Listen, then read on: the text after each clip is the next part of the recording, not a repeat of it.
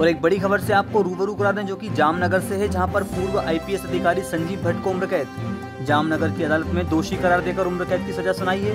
वहीं 1990 में हिरासत में मौत के मामले में हुई सजा। आपको बता दें कि उस समय गुजरात के जामनगर में सुप्रिटेंडेंट ऑफ़ पुलिस थे।